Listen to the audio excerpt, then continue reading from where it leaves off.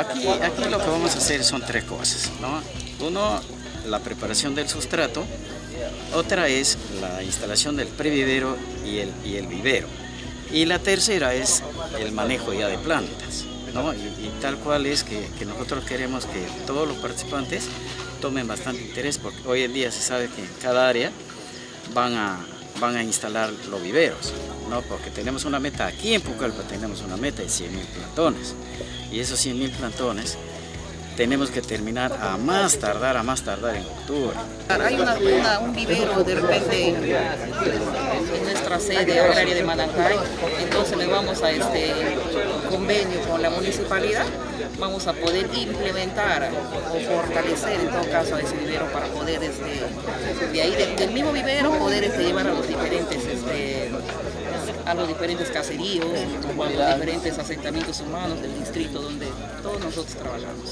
Que nosotros tenemos este, nueve distritos en los cuales este, lo que son Iparía, Macicea, Manantay, Callería, este, Yarinacocha, Nueva Requena, Michuya y Curimaná, en la cual tenemos el personal ya instalado y en la cual ellos tienen que hacer las parcelas demostrativas, trabajar con comités, organizaciones, vasos de leche y con nuestros productores eh, promoviendo todo lo que es, la, que es el manejo de hortalizas en el vivero.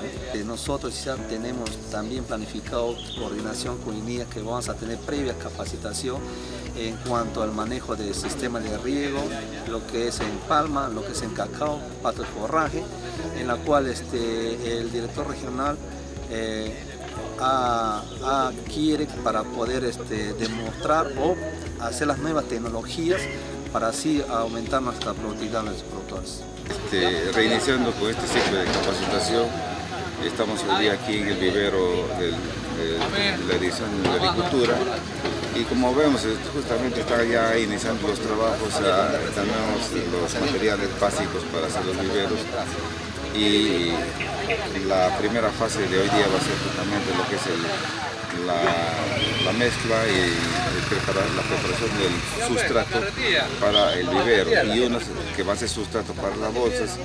Y terminando eso va a entrar a lo que es el tema de injertos. Y creo que hay, mucho trabajo hoy día porque tienen también otro curso de capacitación que es en, la preparación y adiestramiento eh, en el manejo del GPS que es este, un implemento de georreferenciación que tienen que hacer todos los sectoristas.